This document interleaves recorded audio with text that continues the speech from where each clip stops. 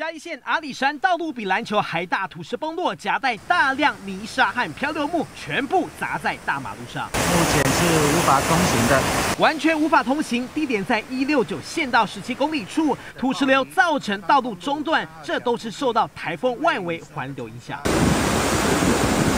曾文溪溪水暴涨超惊人，朱吉乡同样遭遇土石流袭击。民众开车到一半，土石流直接冲下来，紧急刹车，差一点就被砸到，超惊险。高雄山区也开始降下大雨，桃园区三小时累积雨量一百零八点五毫米，那马下一百毫米，紧急撤离四百多户居民。现场看他们离开，是否有亲自打电话？屏东东港东流线码头大浪一波一波打上岸，连桌子椅子都快被冲走。这个危险吗？你看，你看，你客船嘛，不唔敢驶呢。国境之南垦丁，则是有游客趁着插红旗前，跑到南湾沙滩上踢水踏浪。水上活动业者则是把水上摩托车拖到高处，以免被冲走撞坏。